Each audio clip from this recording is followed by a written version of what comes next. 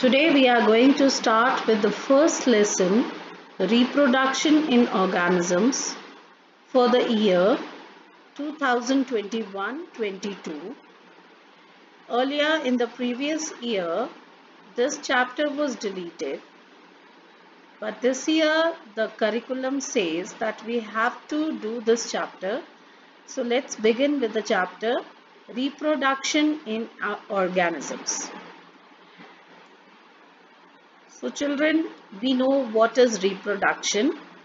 It is a process in which an organism produces young ones or the offsprings similar to itself. Okay, the uh, young one is quite similar to the parental type and this process of increasing the progeny or producing the young ones or the next generation is called reproduction. Next is lifespan.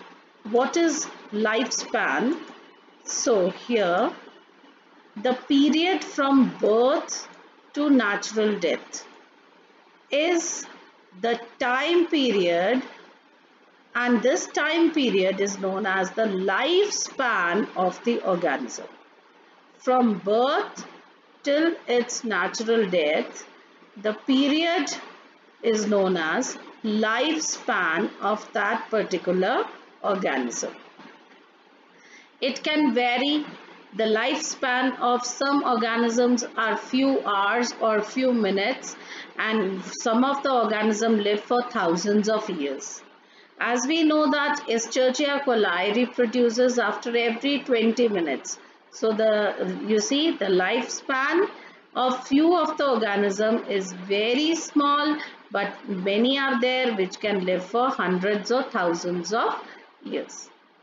Next is no individual is immortal. That means whatever, whoever has been born, okay, the one who is born will definitely die okay the organism that is born will definitely die.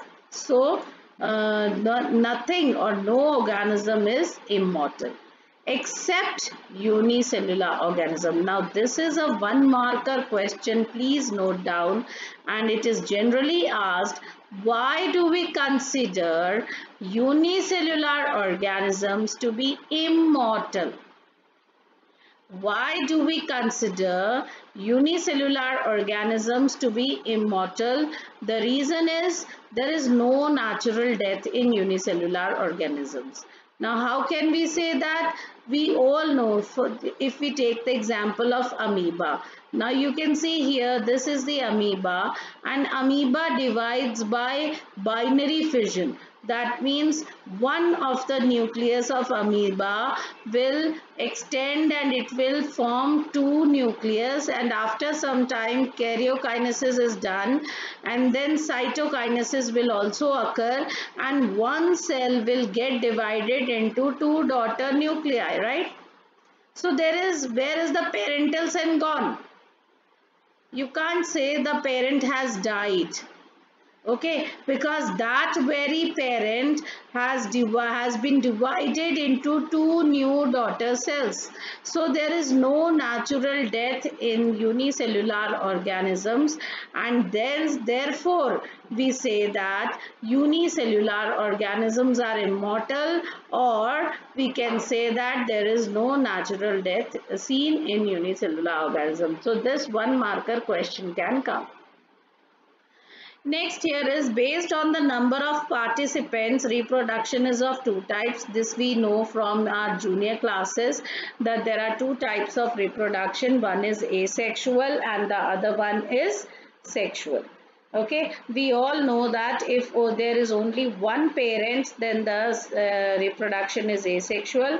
But if two parents are involved and one of them is male and the other one is female then that type of reproduction is called sexual reproduction. So this we already know then children, there is a page in your NCERT where they have mentioned the lifespan of some organisms. You can see that in that page of your book, few of the um, uh, uh, lifespans are not mentioned and they are expecting you people to uh, find out the lifespan of few of the organisms because few of the lifespans they have mentioned but others they want you to find out but here there is a table. The lifespan are given here rose its lifespan is 5 to 7 years. Rice plants from 3 to 7 7 months.